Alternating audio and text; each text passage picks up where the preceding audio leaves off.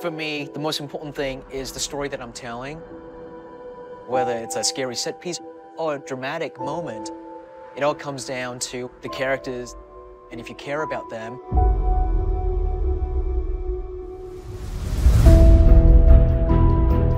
Aquaman is very powerful, but what drives him comes from a very human place. His story resonated with me instantly. He's not accepted here, not really accepted here. I definitely could identify with that. I fell in love with the project and fell in love with Mera. She's no damsel in distress. She's a strong, badass, empowered superhero.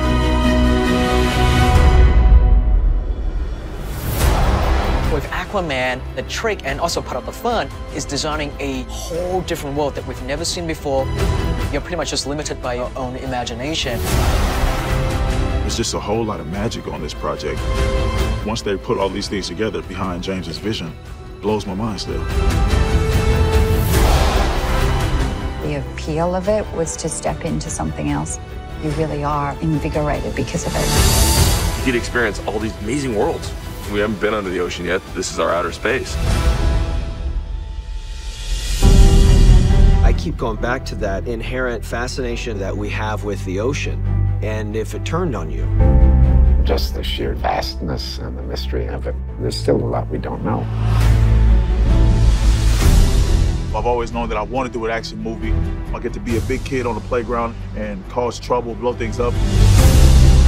Your body is constantly working. Judo, judo, jiu-jitsu, fight choreography. After four and a half months of stunt training, six days a week, you feel pretty superhuman.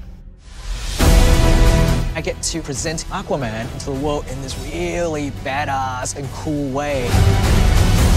we have never seen this on screen. And that's, that's the truth. You get to fall in love with the idea of what it's like to have these powers and be a kid. And that's fun for the family, it's fun for everyone. We want to create something interesting. We don't want the standard. James Wan can't do the standard. Any great superhero story should make you feel that you've learned something from these characters and you yourself have the ability to do good.